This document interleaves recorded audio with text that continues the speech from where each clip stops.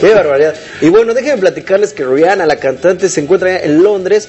¿Y qué creen en la mañana que se provoca un incendio en el hotel donde está hoy hospedada? Ahí vemos las fotos, ella lo tuiteó. A las 6 de la mañana dice, qué raro estar despierta a esta hora.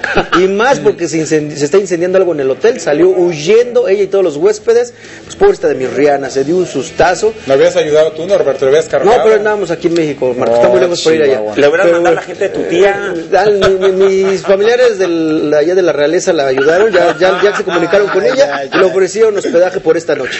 Así es. Qué bárbaro. Pues.